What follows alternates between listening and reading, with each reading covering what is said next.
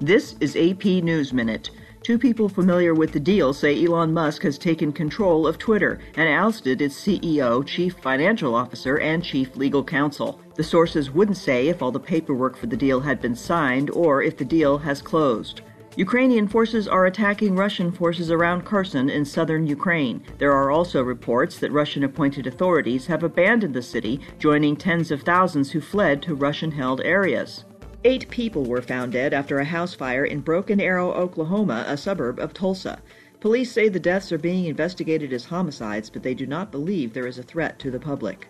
More than 100 people were told to evacuate from a 14 story condominium building in Miami Beach, Florida. City authorities ordered them to leave on Thursday after determining that the building structure is unsafe. Jennifer King, The Associated Press, with AP News Minute.